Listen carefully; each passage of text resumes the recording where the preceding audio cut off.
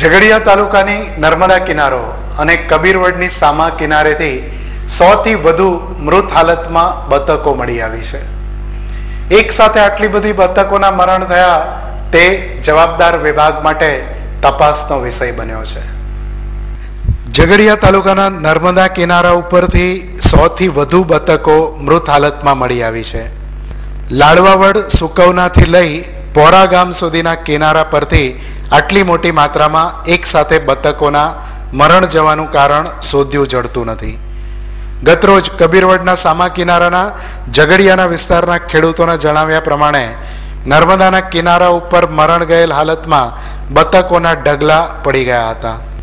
તેમના જણાવ્યા પ્રમાણે મરેલી બતકો પાણીના પ્રવાહમાં તણાઈને આવી હોય એવું બની શકે છે. અથવા કિનારા ઉપરથી કોઈ એવા ખોરાક ખાધા પછી બતકોના અચાનક મરણ થયા હોય એવું પણ બની શકે. સફેદ અને નારંગી કલર ધરાવતી આ બતકો આ વિસ્તારમાં પહેલાં ક્યારેય જોવા મળી હોય તેવું જાણવામાં આવ્યું નથી.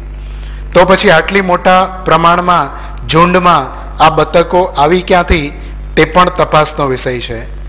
આટલા મોટા ઝુંડમાં આવી બતકો પહેલી વખત જોવા મળી હોવાનું કિનારા ઉપર ખેતી કરતા ખેડૂતો જણાવી રહ્યા છે.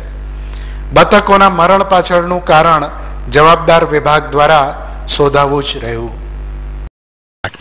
હું ગુમાનભાઈ ફૂલસિંહભાઈ પાટવાડા માજી સરપંચ તરીકે લીમોદરા ગામમાં સરપંચ, માજી સરપંચ તરીકે કામ કર્યું અને અહીંયા પ્રદુ પાણી, ખરાબ પાણી દરિયામાંથી આવી ગયું. અને એના ખાતર પાણીના ખાતર જ આ બધું જીવજંતુ મરી જાય છે. અને આ ખરેખર પાણી આ પીવા લાયક બી નથી હાલમાં. અને ખેતી લાયક બી નથી. એકદમ ખરાબ ને દૂષિત પાણી એકદમ જ ખરાબ. અને એકદમ ખારું ખારું પાણી ને એકદમ કોણિયું પાણી આવે ને પીવાથી બી માણસોને બી કોઈ વખત નુકસાન થાય. અને ઢોર બી મરી શકે એમ છે. આ બતેકો બી બિચારી બહુ ચાલી પચાસ સાઠ સીધી બતેકો અને ઉપર વધારે છે આ બાજુની સાઈડ પણ હમણાં તપડી તપડી મરે. જંગલ ખાતાના અધિકારી આવ્યા તે બી અમને જીવતી બતકો પકડીને દઈને ગયા પોસ્ટમાં. ગઈકાલે ટેલિફોનિક સંદેશો મળ્યો અમને કે બતક મરી ગઈ છે. અમે રાત્રે અહીં છ સાડા છના આજુબાજુ આવીને તપાસ કરતા, જગદીશ મળીએ તપાસ કરી અને લાડવાવાળામાં તપાસ કરતા બતક મળી આવેલ. એમાં બે બતક મળેલી છે અને પીએમ માટે લાવેલા છે ઝઘડિયા અને પીએમ કર્યા બાદ જ ખબર પડશે શું છે. તે અને પાણીના નમૂના પણ લેવામાં આવેલા છે. એ પણ તપાસ કર્યા પછી ખ્યાલ આવશે.